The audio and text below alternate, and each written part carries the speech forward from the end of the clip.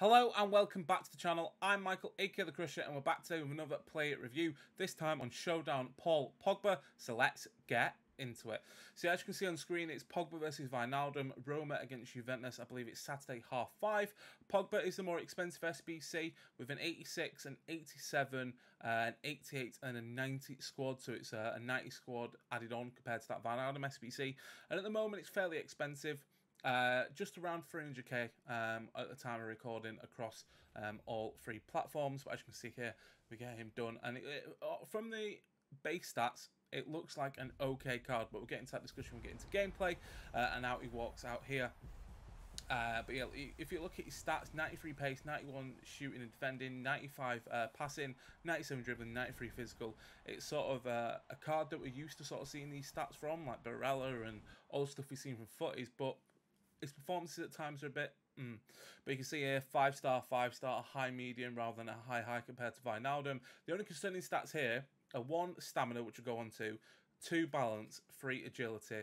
Um, they're, they're not the greatest, and also the finishing could be a little bit higher, but I don't think the finishing really matters when you compare the shot power. We can see a few shots uh, in the when we're doing the um, the uh, review. Sorry, um, this is the squad we're using obviously trying out Wijnaldum as well. We're going for the engine chem style because it's got mainly boost the agility to 95 and the balance to 98. Because I think you've seen like cards come out like this before, obviously six foot three as well, but that balance and uh, agility really affects the centre mids, and especially when I'm using as attacking centre mid in a 4-1-2-1-2 narrow, uh, which will show here. Um, he's going to be playing as that right centre mid. Wijnaldum was playing as the uh, the left centre mid with Dybala just ahead of him. So now we're to get into some gameplay, uh, and we started with just basically just trying to trying to work the card out. Like we see a little few flicks and and whatnot here just basically trying to, to work this card out, see how I felt with him.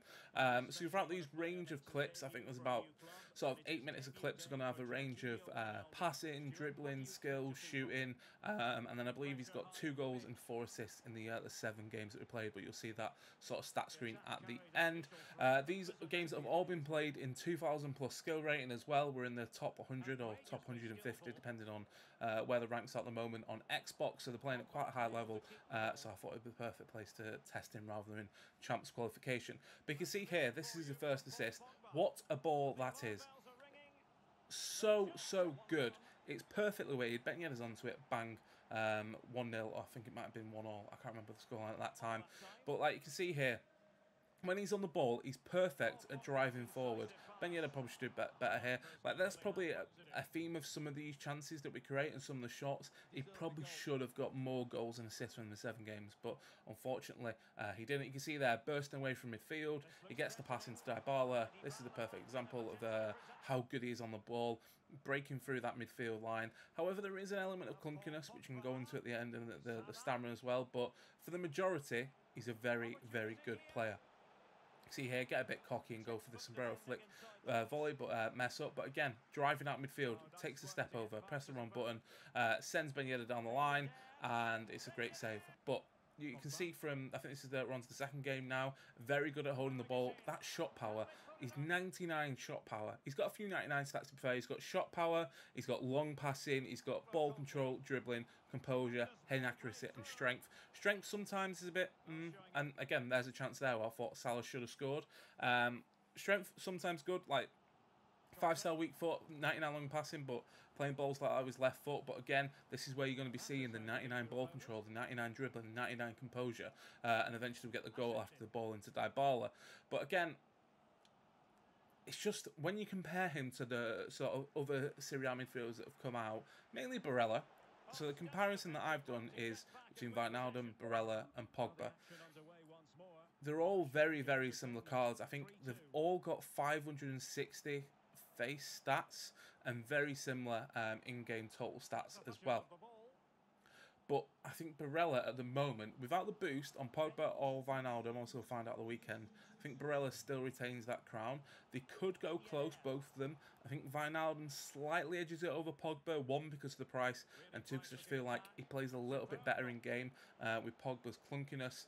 Um, but you can see from the variety of clips that we included, like if you if you're sort of used to playing with a Paul Pogba player, I'm not. I'm used to playing a below six foot right centre mid um, that's fast, nimble on the ball. But if you use this sort of player, he's going to be class for you. Like there's so many people who do reviews, they might say similar to me, they might say different, um, but his shooting is excellent, his passing is excellent, his dribbling is probably about 75 positive, 20%, 25% negative, um, just because sometimes, as I mentioned, does feel a bit clunky. But like you can see, he's just like sidesteps players for fun. That's my complete error there. Uh, red time in the shot, but again, perfect ball through to Ben Yedder um, and get another assist there that is the range of passing you've sort of seen. Like you see the the elasticos, the drag backs, hitting the bar there. I think we've hit the bar maybe two or three times. There's a couple of chances where I've come in from the corner, green timed it, or tried to green time it, and it's just missed as well. Um, but for the majority, like look at that skill. That skill is a perfect example of how good he's on the ball. But it's just them the little bits every now and again that sort of lets this card down. And again, it's probably down to the 88 balance, the 90 agility, and it's definitely that 87 stamina. Most games, as you'll see from the end, that's uh, one of his goals. Lovely flip there. But that's what he's capable of. But as you see from towards the end of this video, it's, it's about the 65th minute, he's gone. On one of the games, I think I played him until about the 70th minute, and he had 29 stamina left. It's it's crazy. It's crazy. But then again, there's the shot power. But you slow him down, like this clip here. You go for the shot. It, it nearly goes in. It goes a bit over. But you slow it down. You go for the flicks. You go for the simple stuff. If you keep it to that level, again, horrifically timed shot, this card is going to be class for you. It's just under 300k. It's also not a lot of this end game. You can easily do it free via the 87, 85 times 10. But again, the shot power there, green time from the short free kick, nearly a goal. Um, again, you see, you see these sort of flicks and tricks that I've been doing throughout the whole video. Bit unlucky to lose that ball there, but he's just very good at bringing that ball out. When I start attacking in my 4 and 2 and 2 narrow, the right centre mid is the player I go to at all times. My left centre mid is the more defensive one, doing the work, and then Kante is a DM. So this right centre mid is perfect. So it needs to be perfect on the ball. And again, this should probably be a goal, another assist, which could take him to five assists.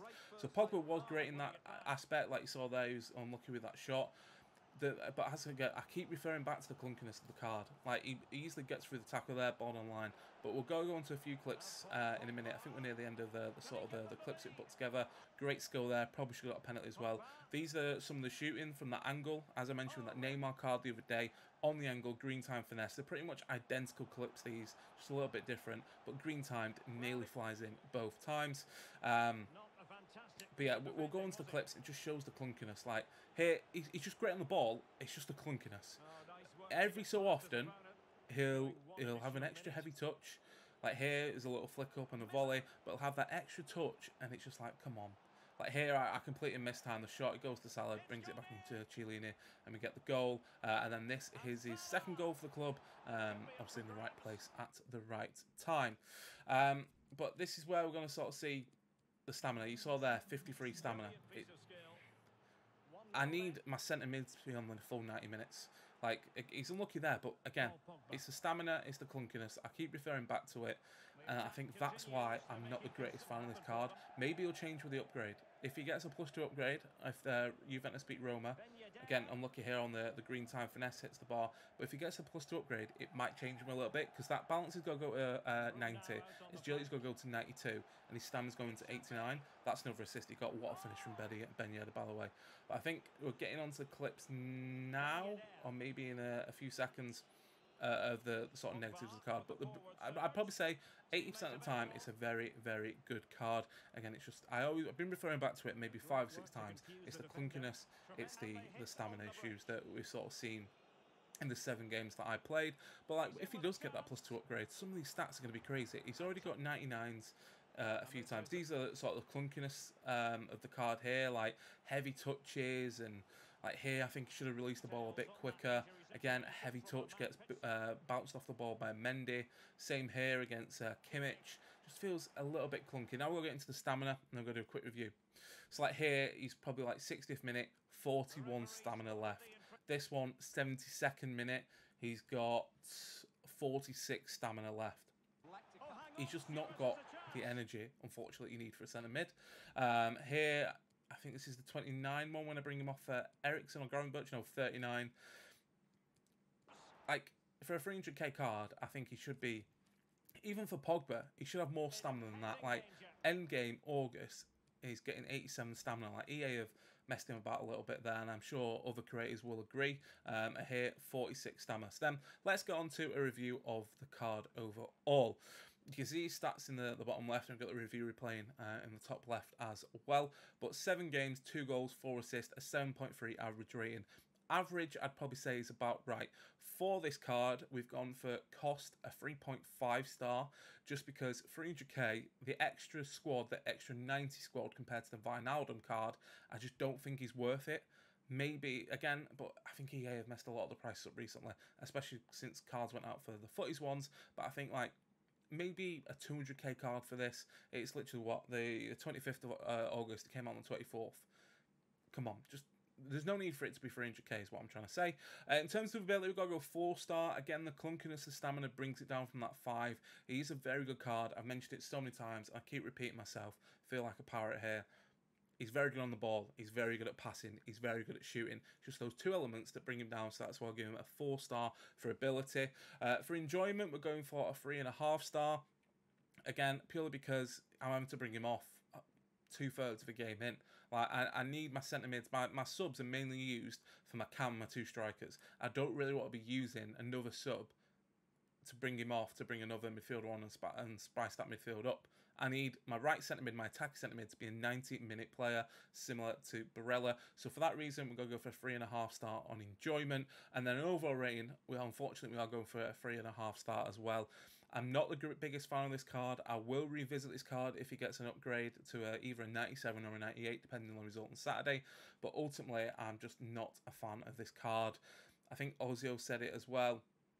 It's this, it, and I've said it about 10 times now. It's the clunkiness, it's the stamina that are the issues this card. And you'll see in tomorrow's view with Wijnaldum, he doesn't do much compared to Pogba because he's playing a different sort of role. But I prefer Wijnaldum over Pogba, and for that reason, it's again it's quite harsh to put him in the hate it category, but it's either rate it or hate it. And unfortunately, I hate this card. I don't rate it whatsoever.